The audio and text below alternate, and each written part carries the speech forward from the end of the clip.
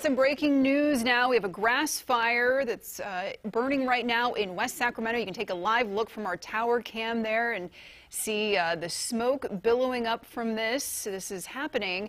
Uh, the address here we have for this is along 4th Street, Curtis. And uh, I was just looking on the map here. It looks like this is just a couple of blocks north of Sal's Tacos and Lighthouse Market in Deli. Uh, and you can kind of zero in a little bit more on where this is happening. Yeah, this is near the Broderick boat ramp. Uh, there is uh, right near that boat ramp right there. There are a lot of trees uh, in that vicinity. There's a little park over there, so it looks like it might be burning in that particular park. It's not all that far uh, from a neighborhood. We don't know of anything threatened right now, but there's certainly brush in there that is burning. And if you're familiar with Sacramento, it's right across from the rail yards. You see on the right side of the screen would be the rail yards, and then you see I-5 and then the river, and it's right on the other side of the river right there. So we're keeping our eye on this, and uh, if something develops, we will pass it along to you.